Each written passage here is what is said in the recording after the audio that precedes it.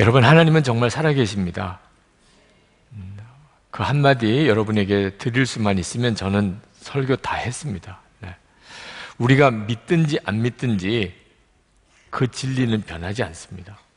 내가 믿었다고 그래서 하나님이 살아계신 거고, 안 믿으면 안 살아계신 거 아닙니다. 하나님은 우리 믿음하고 아무 상관없이 또 우리 믿음을 필요로 하지도 않으시고 하나님은 정말 살아계신 분이십니다.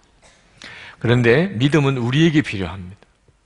우리가 믿음을 갖고 안 갖고는 우리가 하나님을 체험하는데 이건 엄청난 차이가 있습니다. 하나님을 믿는 사람은 하나님을 체험합니다. 하나님을 안 믿는 사람은 도무지 하나님이 경험되지 않습니다. 믿음이라는 것은 히브리서 11장 1절 2절에 바라는 것들의 실상이요 보이지 않는 것들의 증거니 선진들이 이로써 증거를 얻었느니라 그랬습니다. 그러니까 믿음이라는 게 뭐냐면 보이지 않으시는데 하나님이 계시고 하나님의 나라가 있다는 것을 확실히 보는 것처럼 그렇게 증거를 가지고 실상처럼 소유하게 되는 걸 말합니다. 정말 믿음은 놀랍잖아요. 네. 음, 여러분 어, 많은 증인들이 있다고 그랬습니다. 그, 그 시편 71편에 이 시편 기자가 그 증인의 한 사람입니다. 믿었기 때문에 그 하나님을 체험했던 증인입니다. 시편 71편을 누가 썼는지에 대해서는 성경이 명확하게 기록하고 있지 않습니다. 네, 70편도 72편도 다 다윗이 썼으니까 다윗이 썼을 거라고 하는 게 정설입니다만 그러나 성경은 정확하게 다윗의 시라고 쓰지는 않고 있습니다. 하여튼 어떻든지 간에 시편 기자의 믿음은 대단한 믿음입니다. 그래서 오늘 시편 71편을 가지고 어, 우리의 믿음이 얼마나 놀라운 것이며 또 어떤 믿음을 가져야 될 것인가에 대해서 여러분에게 증거하고 싶습니다. 어, 이 시편 71편은 늘 시편이 비슷비슷한 구조로 갑니다. 굉장한 어려움을 겪습니다. 어떤 문제인지 구체적으로 밝히지 않지만 우리가 겪을 어떤 어려움보다 더한 어려움을 이 시편 기자가 겪습니다. 1절부터 4절까지 하나님께 간절히 구원해 달라고 구해 달라는 그런 기도를 올려드립니다. 아, 그리고 하나님이 그렇게 구원해 주실 것을 믿는다고 고백을 하는데 5절에 가서 그런 어려움을 겪으면서도 희망이 있다는 겁니다.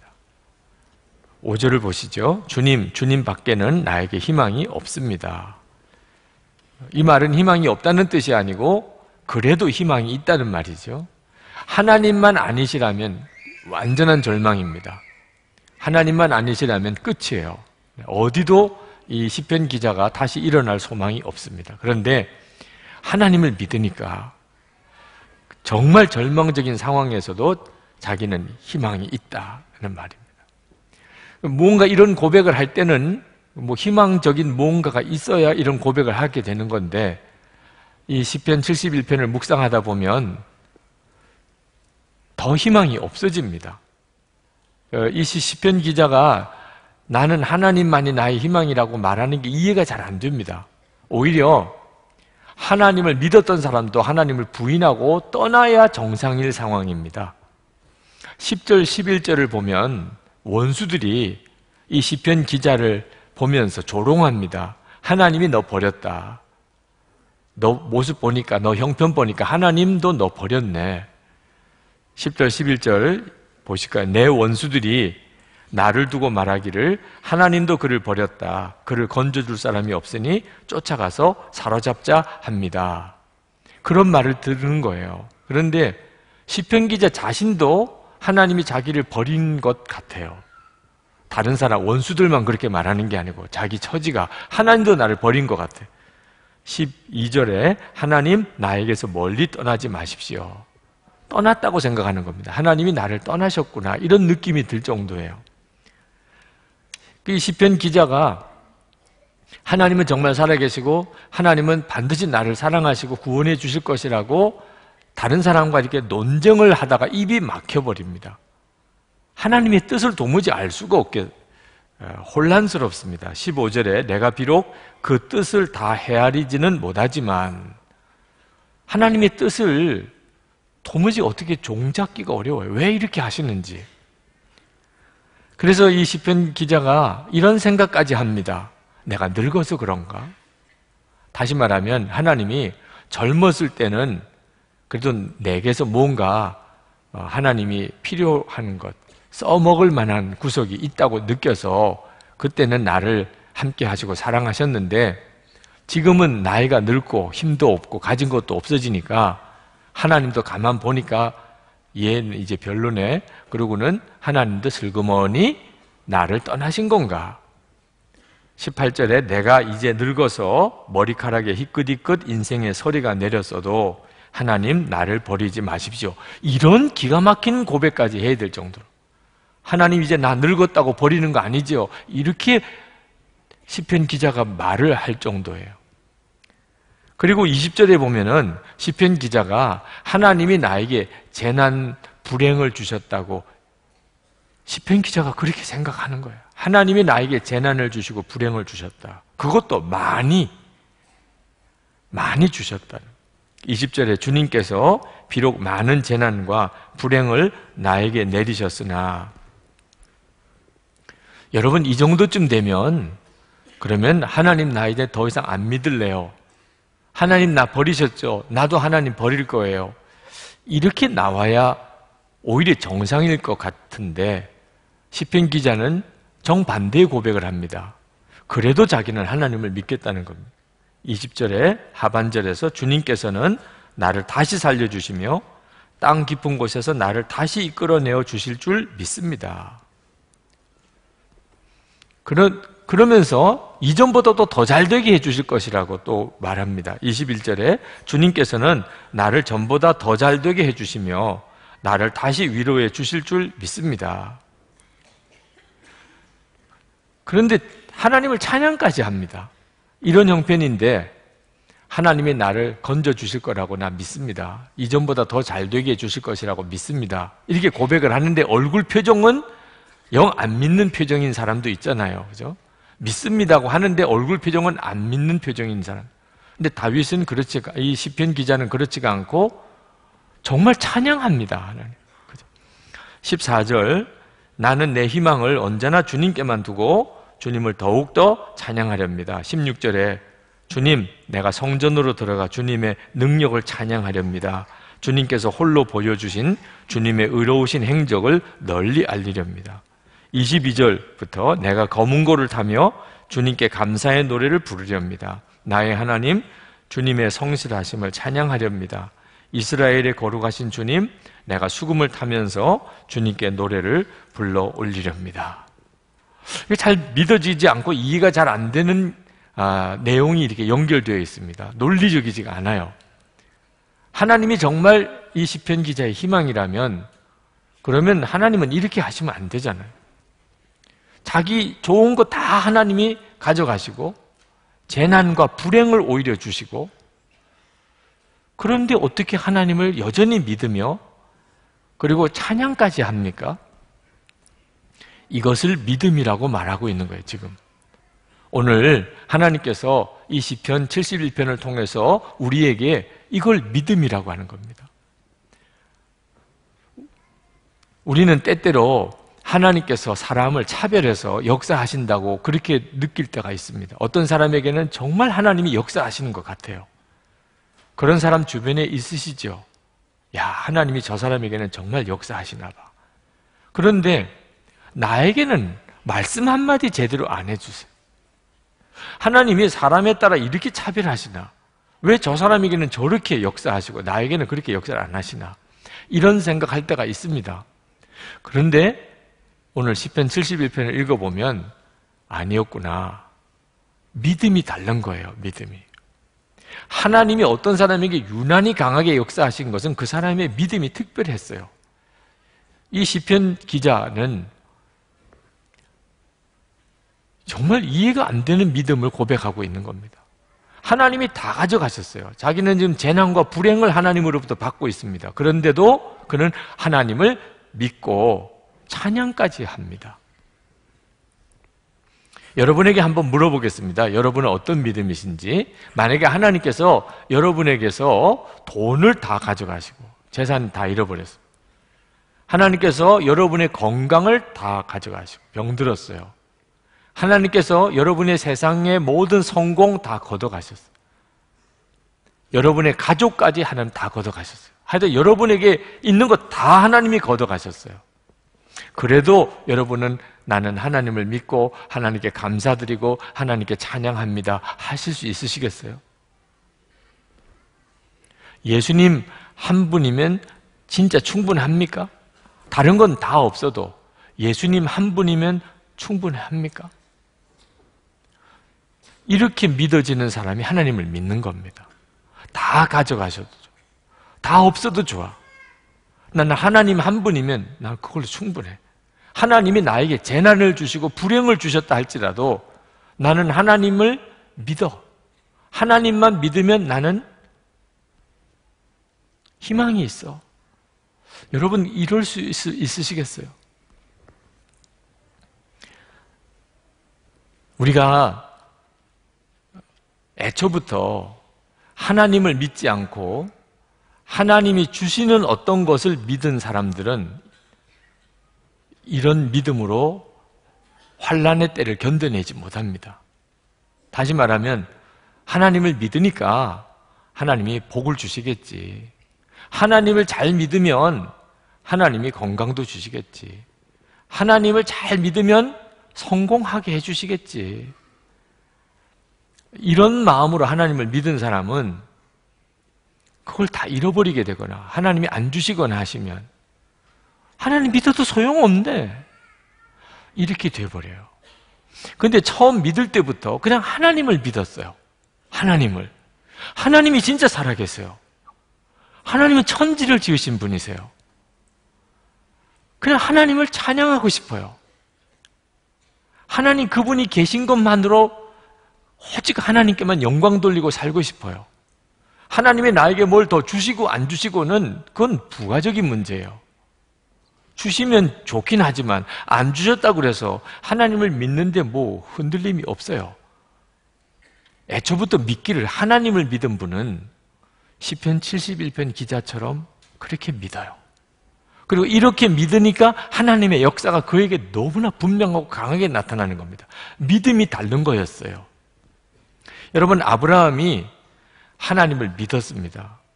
근데 하나님을 믿었기 때문에 하나님이 아브라함에게 약속을 하셨어요. 많은 후손을 줄 것이라. 큰 민족이 조상이 되게 할 것이라. 아브라함은 아이를 계속 낳지 못합니다. 99세까지 아들 하나 없어요. 이제는 아이를 낳을 모든 가능성이 끝났습니다. 그런데도 하나님은 여전히 하나님을 믿었다고 그랬어요. 아브라함은. 그걸 하나님이 의로 여기셨다. 그러니까 아브라함은 애초에 아들 낳게 해 주실까 봐 하나님 믿은 게 아니었기 때문에 아들을 얻지 못했지만 하나 아브라함은 하나님을 믿었어요. 100세에 하나님이 아들을 주셨어요. 얼마나 좋았겠습니까? 근데 갑자기 하나님이 그 독자 이삭을 바치라는 거예요. 아들을 얻으려고 하나님 믿은 사람은 도망가야지. 하나님이 죽이려고 하니까 빨리 숨기고 도망가야죠. 근데 아브라함은 그 다음날 뭐 좋은 일이라고 아침 일찍 일어나서 이삭을 데리고 그리고 하나님이 지시한 모리아산으로 가서 진짜 칼을 들고 내려쳐 죽이려고 했다니까. 아브라함은 자식 얻는 것 때문에 하나님 믿은 게 아니고 하나님 그분을 그냥 믿은 거예요. 그랬더니 하나님이 아들 주시겠다고 그랬는데 소망 다 끊어진 다음에 백세 주시고 이삭을 또 바치라고 하더니 바치려고 하니까 이제는 알겠다. 내 마음 중심을 내가 알겠다. 그러고는 오히려 정말 땅에 모래처럼 많은 후손을 주시겠다고 하나님 약속하셨어요. 여러분 욥 알지요? 욥이 하나님으로부터 복을 많이 받았는데 사탄이 하나님 앞에서 계속 욥을 참수하는 겁니다. 무슨 참수냐면 잘해주니까 잘 믿는 거잖아요. 하나님 잘해주니까 하나님 한번 욥에 있는 것을 뺏어가 보세요. 사람은 그러면 다 하나님 저주하고 떠납니다. 하나님께서 그러면 너 욥의 생명은 건드리지 말고 다 한번 한번 가져가 봐라. 그래서 사단이 욥의 모든 걸 다 뺏어갔죠. 자식도 다 잃어버리고 재산도 다 잃어버리고. 그때 욥이 고백하기를 주신 자도 여호와시요 취하신 자도 여호와시니 여호와의 이름이 찬송을 받으실지로다. 사탄이 욥을 잘못 본 거예요. 사람들 중에는 하나님이 뭘 주시니까 좋아서 믿는 사람도 있고 또 주실 것을 기대하고 믿는 사람도 있습니다. 이런 사람들은 하나님이 가져가시고 안 주시면 그만 싹 토라져 버리죠. 그런데 욥은 그렇지가 않았어요. 욥은 하나님 그분을 그냥 믿은 거예요. 하나님은 당연히 예배 받으실 분입니다. 하나님은 주실 수도 있고 가져가실 수도 있어요. 하나님이 가져가실 때도 감사해야죠. 찬양해야죠. 그게 욥의 믿음이었어요. 다니엘의 세 친구가 그 느부갓네살 왕이 세운 금신상에 절을 안 했습니다. 그러면 풀무불에 들어간다고 하는 걸 알고도 느부갓네살이 다니엘의 세 친구를 풀무불에 넣기 전에 마지막 기회를 한 번 더 주겠다고 그랬어요. 이제라도 절하면 너희들을 살려주겠다. 그때 다니엘과 세 친구, 다니엘의 세 친구들이 우리는 그렇게 안 할 것이다. 우리가 풀무불에 던짐을 받아도 하나님이 능히 우리를 건져내실 것이다. 그런데 다니엘서 3장 18절에 그렇게 하지 아니하실지라도 하나님은 그렇게 하실 권도 안 하실 권도 있으시든 하나님은 능히 우리를 건져내실 수 있지만 그렇게 하지 아니하실지라도 우리는 왕이요 왕의 신들을 섬기지도 아니하고 왕이 세우신 금신상에 절하지도 아니할 줄을 아옵소서. 이게 다니엘의 이 세 친구 다니엘과 그 친구들은 하나님 그분을 믿은 거지 하나님이 어떻게 해 주시니까 믿고 안 해 주시니까 안 믿는 게 아니었어요. 여러분 어떻게 이런 믿음을 가질 수가 있죠? 오늘 하나님은 우리에게 매우 중요한 믿음의 도전을 하고 계세요. 이것은 여러분에게는 듣기가 쉽지 않으실 수도 있지만 여러분의 모든 신앙적인 갈등을 한 번에 해결하는 하나님의 놀라운 메시지입니다. 신앙생활의 갈등은 다 이 문제가 해결이 안 되니까 오는 겁니다. 다시 말하면 하나님 말고 뭐 하나 더 있어야 돼요. 아, 하나님 믿지만 돈도 있어야 돼요, 없어야 돼요? 이렇게 생각하는 하나님을 믿지만 안 믿는 거 아니지만 돈도 있어야지 사람이 살아가려면 하나님을 믿기는 믿지만 아, 좋은 대학도 들여보내줘야 되고 하나님을 믿기는 믿지만 건강도 주셔야지 이렇게 뭔가 하나 자꾸 토가 달리는 거예요 하나님 한 분만으로는 그건 좀 아쉽지요 하나님만 바라보고 어떻게 살아요 먹고도 살아야지. 자꾸 이렇게 생각이 가는 겁니다. 그래서 우리가 너는 하나님 한 분으로 충분하냐? 대답을 잘 못해요. 하나님이 이것저것 가져가지기 시작하면 막 속이 뒤집어지기 시작합니다. 그리고 하나님 이게 무슨 일이에요 도대체 이렇게 돼요. 이유는 아직도 믿음이 없는 거예요. 하나님에 대한 믿음이 없는 겁니다. 여러분, 어린 아이에게 오늘 유아 세례도 받았지만 어린 아이에게 그 앞에 과자도 놓고 장난감도 놓고 돈도 놓고 그리고 아버지도 옆에 있어요. 너 택해라. 과자 쪽으로 달려가는 애도 있습니다. 여러분들이 보면은요, 답은 너무 뻔하죠. 그죠? 다 없어도 아버지만 택하면 다 있는 거나 마찬가지예요. 그렇죠? 아버지만 택하면 끝난 거예요. 근데 이 아이는 아직도 아버지가 어떤 존재인지를 몰라요. 당장 눈앞에 있는 돈, 과자, 장난감 이런 것만 훨씬 커 보여요. 이거 다 버린다는 게 이게 상상이 안 돼요. 그런 거 다 없이 아버지만 택하라. 그러면 애는 막 울고불고 난릴 수도 있어요. 사실은 다 얻은 건데도. 지금 이 시편 72편의 기자가 다 사라지고 있어요. 오히려 이해는 안 되지만 하나님이 자기에게 재난까지도 주시는 것 같아요. 그래도 하나님을 믿으니까 자기는 희망이 있어요. 하나님은 반드시 다시 회복시켜 주실 수 있어요. 지금은 가져가시도.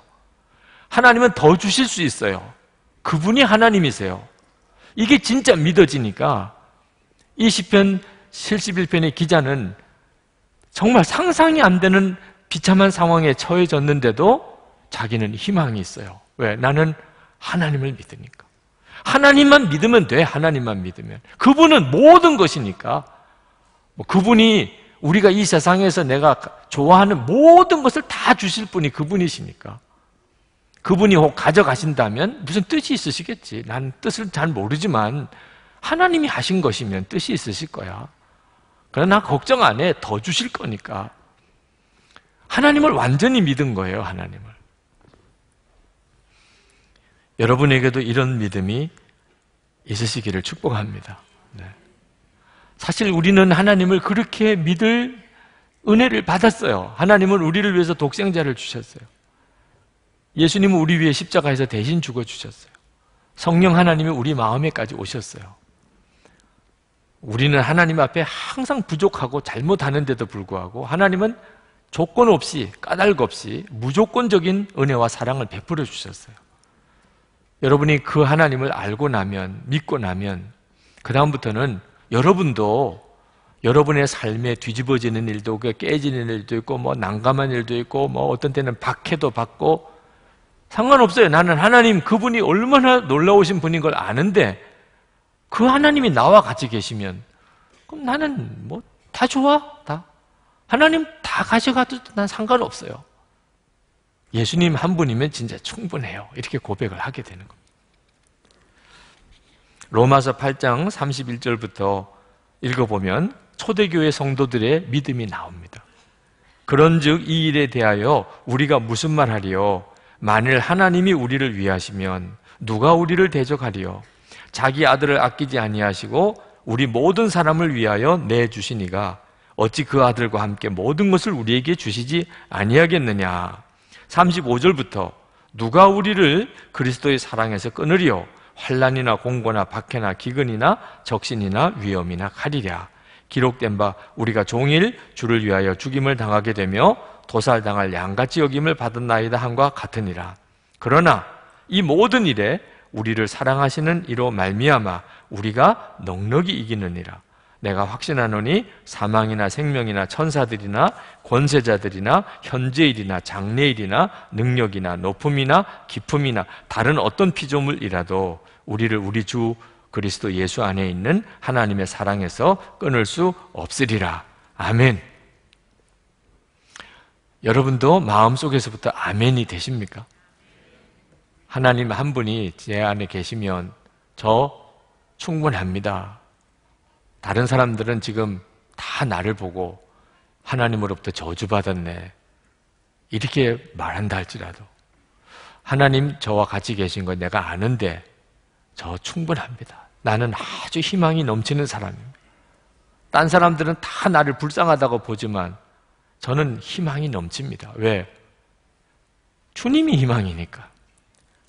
내 희망은 돈이 아니고 성공도 아니고 무슨 재산도 건강도 아니고 내 안에 계신 주님이 내 희망이니까 나는 희망이 넘치는 사람이죠.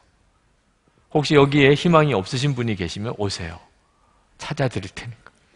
여러분 안에 계신 주님이 희망이시니까.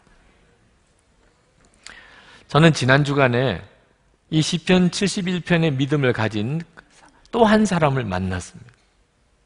성경에 나오지 않는 또 한 사람을. 직접 만난 게 아니고 책으로 만났습니다. 아, 감사는 밥이다. 책 제목도 참 특이하죠. 감사는 밥이다. 라는 제목의 책이에요. 미즈노 겐조라고 하는 일본 분이 쓰신 책입니다. 아, 이 책을 읽으면서 얼마나 감동과 은혜를 받았는지 모릅니다. 오늘 이분에 대해서 좀 길게 이야기를 드릴지 모르겠어요. 이 미즈노 겐조 씨는 11살 때 홍역을 앓으면서 뇌 손상이 와서 전신이 마비가 됐습니다. 11살 때. 그래서 눈으로 보는 것과 귀로 듣는 것 외에는 아무것도 못합니다. 말도 못하고 손가락, 발가락 하나도 움직여지지 않습니다. 그렇게 그는 36년을 살았어요. 근데 그 옆에 사시는 어느 목사님께서 너무 보기가 딱하고 불쌍하니까 성경책을 가져다 주셨어요. 처음 봤습니다. 눈으로는 볼 수 있으니까 엄마의 도움으로 성경을 읽으면서 예수 그리스도를 만납니다. 그 미즈노 겐조의 심령에 생명의 복음이 싹 텄어요. 예수님을 만나고 그가 구원을 체험합니다. 그리고 그때부터 살아계신 하나님과 동행해요. 미즈노 겐조는 아무것도 못하고 누워 있는데 그 속에는 예수님의 생명이 역사하기 시작합니다.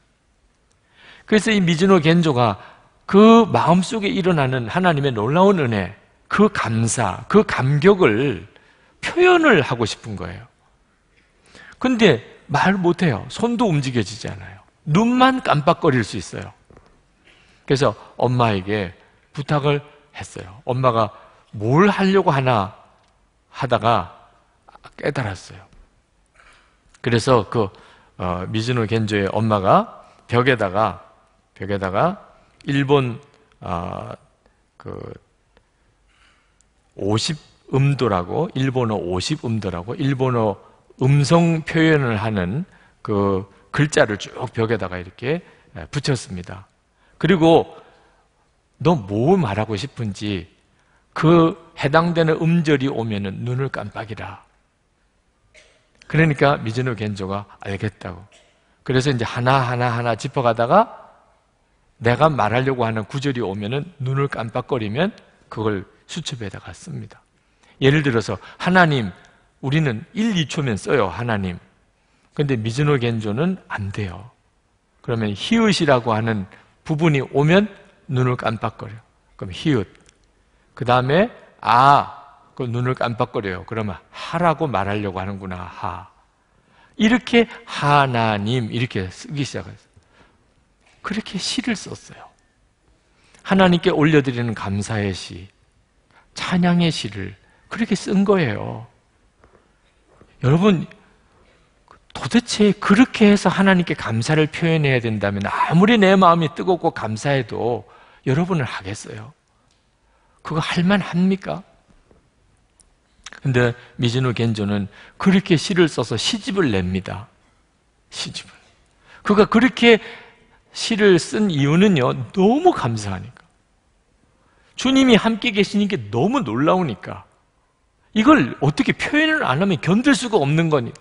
그러니까 그 작업을 해서 시집을 내는 거죠. 잊기 전에라는 시입니다. 지금 들은 것, 보인 것, 마음에 느낀 것, 잊기 전에, 사라지기 전에, 주의 아름다운 은혜를 찬양하는 시를 만들자. 여러분, 그냥 어떤 시인이 썼다면, 아, 참, 은혜로운 시를 쓰셨네. 미즈노 겐조의 이야기를 읽고 이 시를 읽으면요. 이건 충격이에요. 오늘 하루도라는 시입니다. 신문 냄새에 아침을 느껴 차가운 물맛에 여름을 느껴 풍경 소리에 선선한 해질녘을 느껴 개구리 소리에 졸음을 느껴 오늘 하루도 끝나지 않았어. 하나하나의 하나님의 은혜와 사랑을 느껴. 지금 아무것도 못하고 꼼짝없이 전신마비가 와 있는 사람의 심령 속에 지금 하나님의 은혜와 사랑을 느끼고 있는 거예요. 오늘 하루도 발소리로 시작된다. 신문 배달부 발소리, 우유 배달부 발소리. 오늘 하루도 성령을 부어주시는 주님의 발소리. 눈물이 나더라니까. 꼼짝없이 누워서 귀로 들리는 소리는 들어요. 우유 배달부구나, 신문 배달부구나. 그런데 그 소리만 들리는 게 아니고 성령을 부어주시는 주님의 발소리도 들린다는 거예요. 여러분, 이 미즈노 겐조 씨가 뭐 좋은 일이 있어서 그래서 감사해서 하나님을 믿는 겁니까? 그냥 하나님을 만난 거예요. 어떻게 보면 하나님은 미즈노 겐조의 모든 걸 가져가셨어요. 심지어는 자기를 시를 쓰게 해주던 어머니까지, 어머니까지 읽습니다. 미우라 아야코 여사가 미즈노 겐조의 어머니가 돌아가셨다는 이야기를 듣고 가슴이 그냥 콩 눌, 눌렸어요. 왜? 믿음을 지킬 수는 있을까? 하나님이 어째 어머니까지 뺏어 가시나? 이제는 시를 누구를 통해서 써요? 그런데 그 시집 2집이 나옵니다. 믿음이 더 좋아졌어요. 어머니를 잃은 나를 위해 울지 마세요. 더 이상 울지 마세요. 마음속은 이상할 정도로 잠잠합니다. 그리스도가 나와 함께, 함께 하시기 때문이겠죠. 진짜 주님이 계신 거예요. 미즈노 겐조 안에. 그리고 그 제수 씨를 통해서 시를 계속 써 내려갑니다. 제수 씨가 어떻게 시를 받아 쓰는지를 체득하고는 그 다음부터 그 제수 씨 되시는 분이 이제 시를 써 주는 거죠. 주 예수님 당신이 조용한 밤길로 가까워지는 발걸음 소리다. 발걸음 소리라고 금방 알아차렸습니다. 바로 알아차렸습니다. 여러분, 이분은 정말 복 있는 사람이에요. 주님이 그렇게 역사하시는 것은 왜 우리는 미즈노 겐조처럼 그렇게 주님을 느끼지 못할까요? 우리는요, 할 말 다 하고 사니까. 갈 때 안 갈 때 갈 때가 너무 많아. 하여튼, 우리는 놀러 갈 때도 너무 많아. 근데 미즈노 겐조는요, 꼼짝없이 주님과만 시간을 갖는 겁니다. 미즈노 겐조의 심령에 주님이 오셨어요. 그리고는 그는 계속 주님과만의 시간을 갖는 겁니다. 말씀이라는 시입니다. 하나님, 오늘도 말씀해 주세요. 단 한마디뿐이어도 좋습니다. 내 마음은 작아서 많이 주셔도 넘쳐버려 아까우니까요. 아, 이 시를 읽는데 계속 눈물이 나더라. 주님의 말씀을 사모하고 이렇게 마음의 심령으로 주시는 주님의 말씀을 들어본 사람은 알아요. 주님이 말씀을 많이 주실 것도 없어요. 그냥 매일 순간순간 한마디씩만 주셔도 주님이 내 안에 계시구나. 우리는 많이 말씀해 주셔도 다 담아내지도 못합니다. 주님이 끊어지지 않고 계속 나에게 말씀을 한마디씩만 주신 거 충분해요. 미즈노 겐조는 그, 그 마음을 그렇게 고백했어요. 전도할 때 말도 잘해야 되고, 전도 대상자에게 찾아가기도 해야 되고, 안 되면은 편지라도 써야 되고, 그걸 아니에요. 미즈노 겐조를 보니까 그거 다 없어도 돼요. 말 못해도 되고, 걸어갈 수 있는 다리가 없어도 되고, 뭐 글 쓸 수 있는 그런 펜이나 손이 없어도 돼요. NHK에서 이 미즈노 겐조의 이야기가 방영이 됐습니다. 수많은 일본 사람들이 그 프로그램을 보고 도대체 예수님을 믿는 게 뭔가? 저 미즈노 겐조라는 사람이 저렇게 살 수 있도록 만든 예수님이 도대체 누군가? 그래서 가장 많이 예수님을 전도한 사람이라는 평가를 받아요. 미즈노 겐조. 미즈노 겐조의 이야기를 읽고 수많은 사람들이 예수를 믿기로 결심을. 오직 하나만 있으면 돼요. 전도. 나 같은 죄인이 예수 믿고 죄 사함 받고 하나님의 자녀가 되고 천국 백성이 됐다. 이 감격, 이 감동 하나만 있으면 돼요.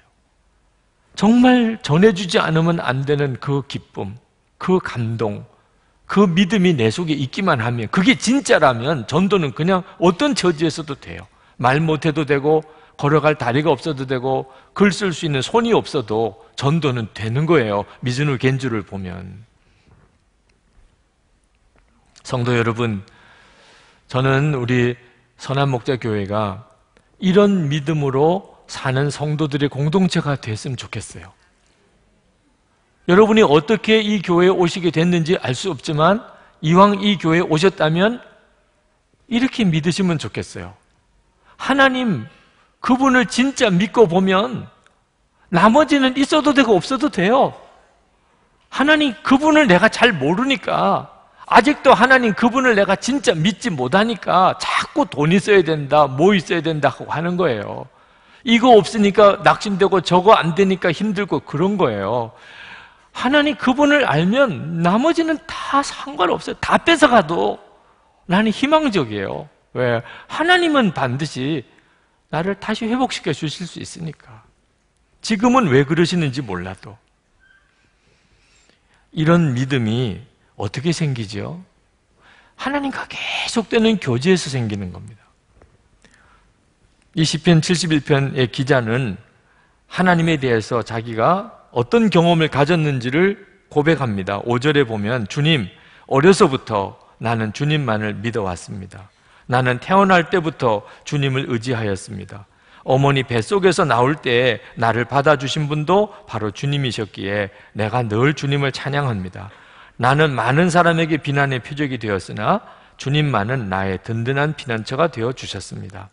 16절에 주님께서 홀로 보여주신 주님의 의로우신 행적을 널리 알리렵니다.